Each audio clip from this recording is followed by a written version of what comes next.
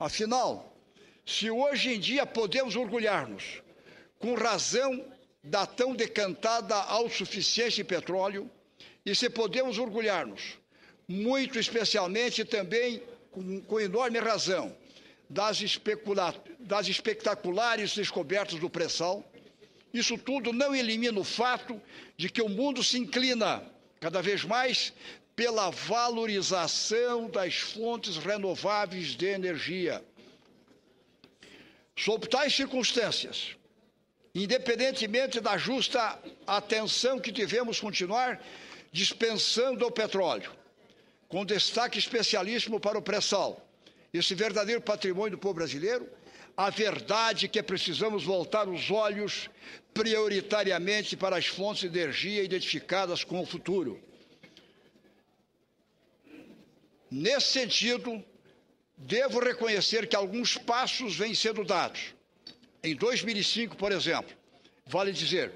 seis anos atrás, o governo federal lançou o Plano Nacional de Agroenergia, sob responsabilidade do Ministério da Agricultura, Pecuária e Abastecimento.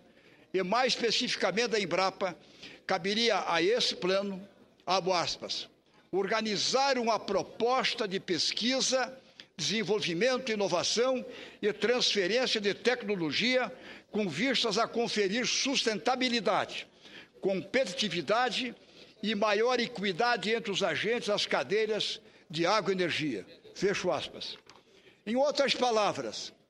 busca-se com o plano estimular a produção de fontes de energia ligadas à agricultura, como o biodiesel, o álcool combustível, a biomassa florestal,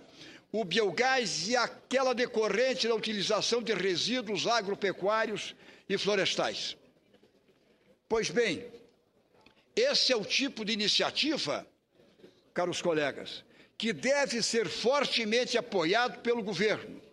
para permitir que os objetivos do plano sejam alcançados e ele não se transforme em simples carta de boas intenções, como tantas outras que não conseguiram decolar e vagam insepultas pela esplanada dos ministérios. Afinal, temos no Brasil uma série de condições que tornam a agricultura de energia altamente recomendável, tanto do ponto de vista econômico como principalmente do ponto de vista